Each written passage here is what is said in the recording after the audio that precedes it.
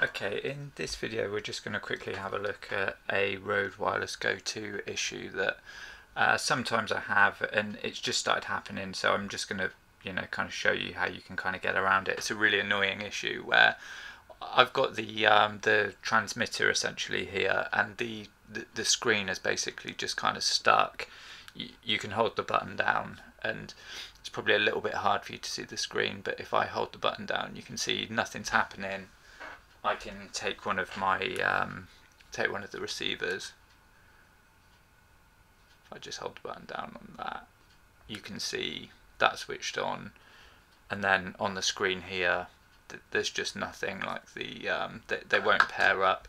Um, I did a video before on them not pairing, which I'll link up in the corner. But this is actually a slightly different thing. Essentially, the uh, the unit's frozen and I've you I've just tried everything really. You know, you holding the power button down, you can try and connect it to uh, Mac or a PC, connect it to Rode Central, and Rode Central essentially won't know that it's switched on and it won't be able to connect to it. So.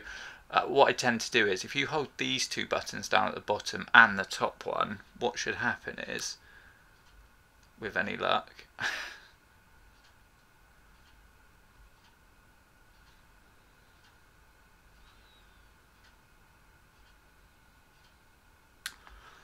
you can see after holding it down for it probably takes about five to ten seconds but you can see now the actual thing has switched off.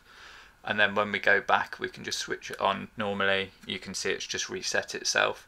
So now it's switched on and we've got our um, basically the transmitter or one of them and the um, transmitter are both connected up again. So if that ever happens to you and you're just kind of stuck thinking okay there's nothing I can do with this just two buttons at the bottom, one at the top, and just hold it down until it, it starts to reset itself. And it almost does like a kind of a hard reset.